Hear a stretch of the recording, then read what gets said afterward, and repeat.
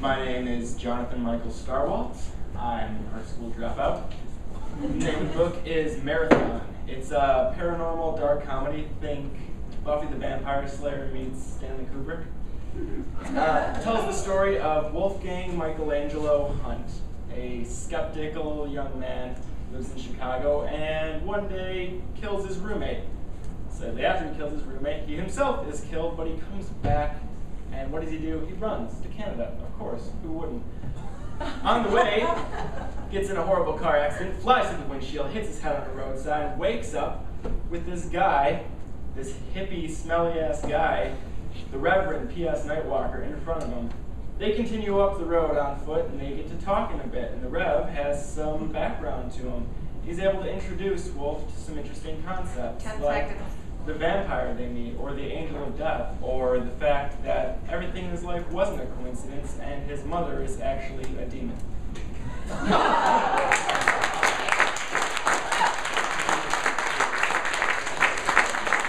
have some uh, sample galleys available if anyone's interested. Uh, self-published, currently available on my website. or review orders. Well, you know, uh, more and more authors are required to get up and talk about their work.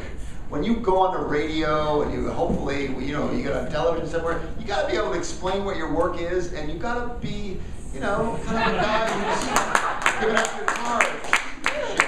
Uh, and you, you got up there and you took hold of this stage and you had us all in the palm of your hand right from the beginning. I'm an art school dropout. I loved it, man. I thought that was great, and it was a great performance. And, and you, you timed it. You had like exactly a minute. I don't know how you did that exactly. From the hip. From the hip, it seemed like it, but you, you know, you, you you weren't firing blanks. Uh, I, I, I think it's a fantastic uh, story, and I thought it was really well told. Uh, I, I, I thought it was a, a really great pitch. Uh, Lee and I are hysterical over here because on Jonathan's card, underneath it says person. That's his bio on there. And, oh, they're all different? They're all different. Oh, Just one okay. writer. Okay. Well, one- one of the things that we, we always talk about is that the, the, uh, and David alluded to this earlier, is that the voice of your book has to come through in your pitch. And your deadpan style is hysterical and totally comes through in the pitch and in this person thing as well. Like I, I once agented a book that was called Loser Goes First about this guy who just could not accomplish anything. And his bio was just his, it said, Dan Kennedy lives in New York City. That's it. That's it. So it's clear he hadn't accomplished anything. And I thought that was one of the funniest bios I had ever seen. So you, you've done something. Now, I, I'm going to slightly disagree with David in that I loved your, your sensibility and your voice, but I didn't have a great sense of story. And I would like to have more of a beginning, middle, and end, or not even a final end, but something that we want to know what's going to happen. So I, I think it can be tightened up a bit, and and um, you can still have the little bit of the wandery voice, but still have it tighter.